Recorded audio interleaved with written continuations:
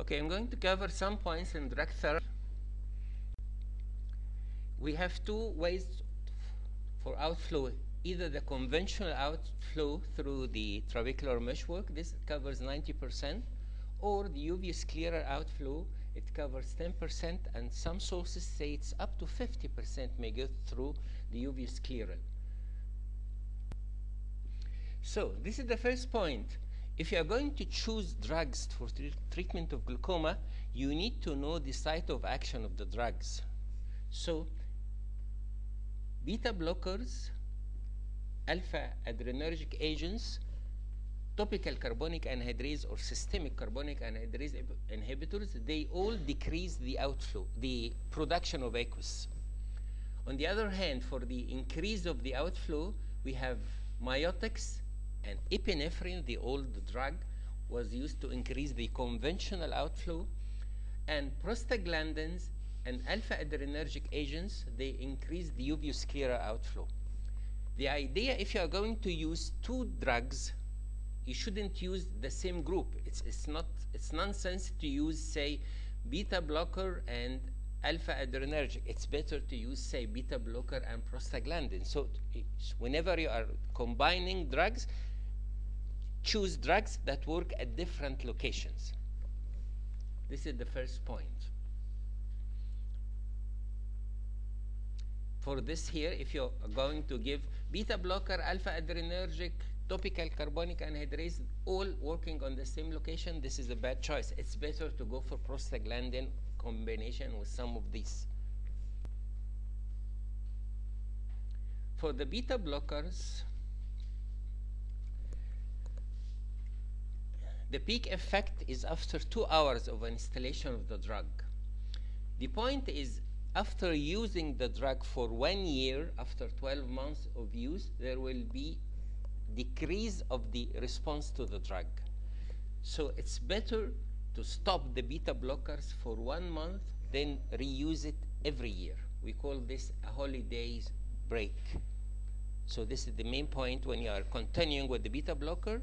We should stop it for one month every year to get rid of the adaptation or what we call the long-term drift of the effect, losing the effect of the drug with the prolonged use. Then we need to know that we have two types of beta blockers. We have selective beta blockers that does not affect the lungs. This is betaxolol or betoptic eye drops. If you have a patient with uh, chronic obstructive air airway disease or bronchial asthma, you can go for that. And you should avoid the regular beta blockers which get side effects on the heart, chest, and brain. The selective does not affect the chest. Now we come to the adrenergic agents. We have selective group, that's alpha-2 selective adrenergic stimulus. They work by lowering the aqueous production and increasing the outflow.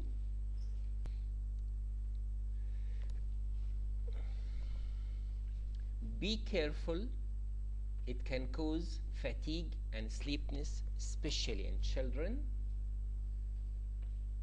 Also, it has effect on blood pressure causing hypertension. The point is it's totally contraindicated below the age of one year. If you use it before the age of one year in the first year of life, the child may die. So this is the point to remember. Never to use selective alpha 2 agonist in the first year of life. It can cause fatal hypertension, can cause CNS depression.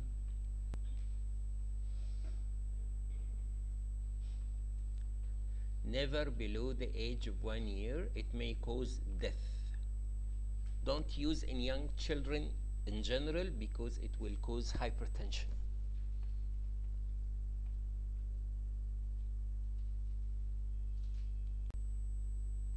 Now the carbonic anhydrase inhibitors, it's available systemic, form or local. This is the group of side effects that may happen with the systemic or with the local. The systemic, except for a short period.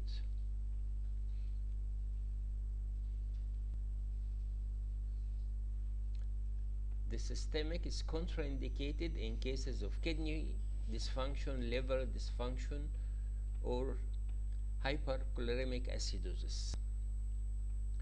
Now we come to the topical carbonic anhydrase. In Egypt, we have these two main drugs, Trusopt and azopt. As a monotherapy, it can be used three times a day. But when combined with other drugs, it is every 12 hours. It's twice a day. Yes, this is an image of a micro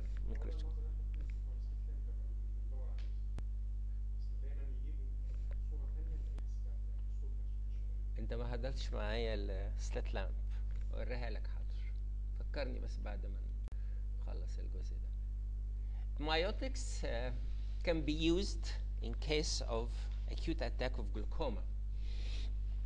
But be careful. Myotics are useless if the intraocular pressure higher than 40. So if the eye pressure is higher than 40 and you're putting myotics, this is useless. So better to lower the, the IOP by say mannitol or glycerin or something. Then you, when it's below 40, you can use the uh, myotics, the pilocarpine. The second point, pilocarpine should be used in the acute attack. One drop, 15 minutes, a second drop, and that's all.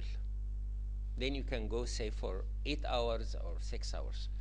If you continue putting pilocarpine very frequent, you're going to get a reversed effect. There will be a congestion in the ciliary body.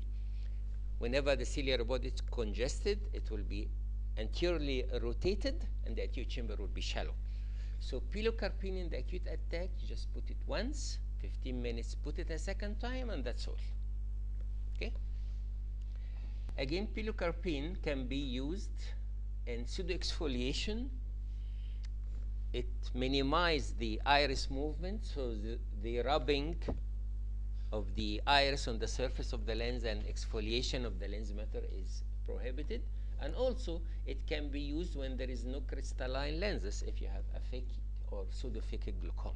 So this is now the main role of pilocarpine in acute attacks and also in open angle if pseudophakic or aphakic and in pseudoexfoliation. Now we come to the prostaglandins. The prostaglandins lower the pressure by 25 to 35 percent same to the combined uh, beta blockers and topical carbonic anhydrase inhibitor. These are the most potent drugs, either prostaglandin or the combination of beta blocker topical carbonic anhydrase. Prostaglandins may cause redness, but with the prolonged use of the drug, the degree of redness may decrease or disappear. So you have to warn your patient that the drugs may induce redness. Don't be afraid, continue to use it. A second point, to test or to check the efficacy of the drug. In cases of beta blockers, topical carbonic anhydrase inhibitors, you go after two weeks and see the drug efficacy. Here in the prostaglandin group, you can wait up to six weeks to see, to get the final result if this is drug effective or not, and the degree of efficacy of the drug. And if you have a problem with one of the prostaglandins, you can use another prostaglandin. There is a variation of the response between the different brands of the prostaglandins. So to judge the efficacy, we need to wait for six weeks. Prostaglandins, if the patient needs a cataract surgery, we should avoid it for six months after the surgery. Prostaglandin itself, it's an, one of the mediators for on the, available when there is iritis. If a patient has an iritis, prostaglandins are liberated and this um, forming the process of different reaction in cases of iritis. So if I'm using it by myself as a drops to control the glaucoma, there will be a risk after cataract surgery that there will be uveitis induced by my drug. And also, when there is no lens, I'm putting an intraocular lens, we have a risk that it may cause cystoid macular edema. So it's better to be avoided Classically six months, but some other sources say we can just stop it for six weeks, then we can go for it after cataract surgery.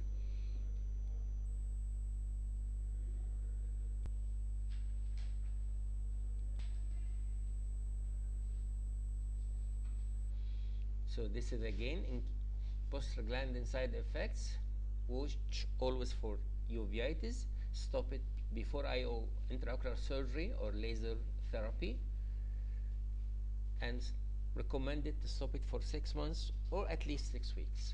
And be careful with this cystoid macular edema, especially in aphakia. ليه ايه؟ with aphakia. Maybe the excess from the anterior part back to the macula.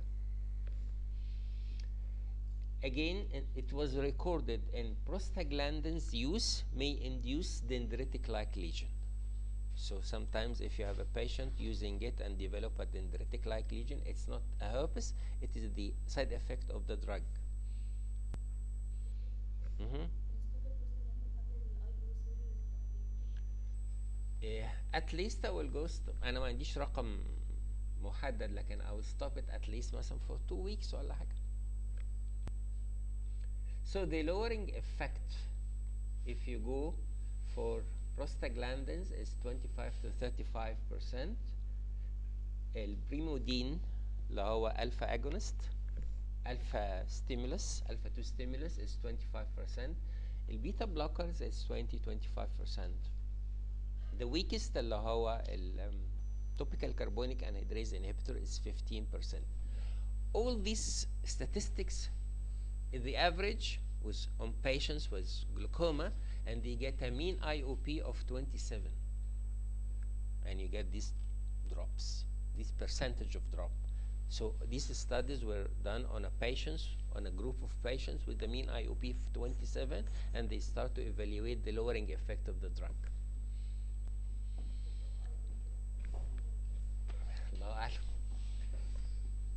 Uh, eh, الwash washout period. This is if you want to stop a drug and see uh, how much it was effective, or if you are doing a research and you want to get the previous treatment effect out, then start a new treatment. So this is the washout period for the drugs. Beta blockers is two to five days. Topical carbonic anhydrase inhibitors it's one week. Sympathomimetics two weeks. Prostaglandins four to six weeks. Clinically, this is the best way to use drugs. Start by using it in one eye, then wait two weeks, six weeks, depending on the type of drug you are using. Then recheck the pressure. Now you can compare with the eye with the drugs and the eye not using the drug. Then you know how much the drug is effective for this particular patient. We can add or replace depending on if my drug is effective according to the European Glaucoma Society guidelines, if the lowering effect is 15% of the pressure, the drug is effective. Then you keep it, and if you don't reach the target IOP, you can add another drug. But if the IOP reduction is less than 15%, you need to replace it, change it with some other drug.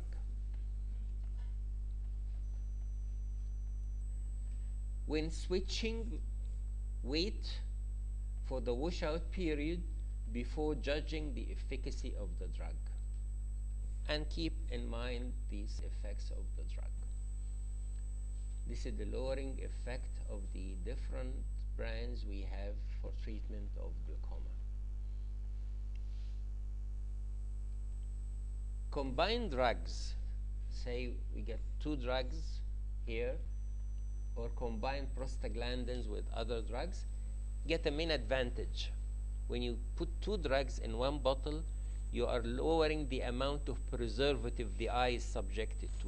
Preservatives has a bad effect on the lacrimal system, the lacrimal secretion, and they induce fibrosis. So if you use a drug-free preparations, like we have now prostaglandin P without preservative, or reduce the amount of preservative by using combination. This is the main advantage of a combination.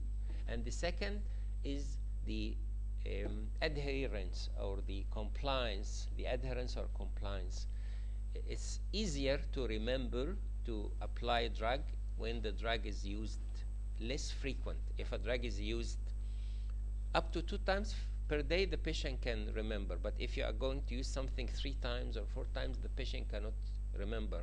The adherence to the treatment will be less. So it's better to use uh, less frequent, and also it's better to use less number of drugs. And instead of applying two drugs, the patient might forget. If you can using the two drugs in one bottle, then the adherence is better. So, which drug to use if you have a, a patient with primary open-angle glaucoma? Again, age of patient. We should avoid alphagan in young children below the age of one year. It's totally contraindicated, and in general, we should avoid it in children because of hypertension, and below one year, it may cause death. I remember one of the ladies get a baby was using alphagan and she noticed that the patient is or the baby is drowsy sleeping all the time.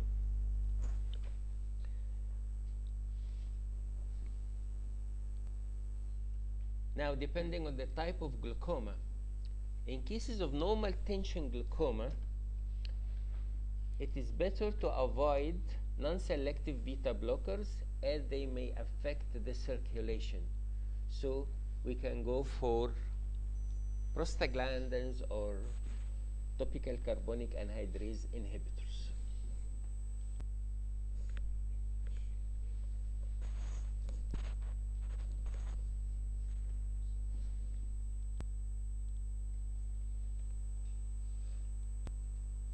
Okay, now these are the European Glaucoma Society guidelines you can use with start with one drug. And see I just I want you to remember this. Insufficient lowering of the IOP if the IOP reduction is less than 15% then you need to switch stop this drug and go for another drug.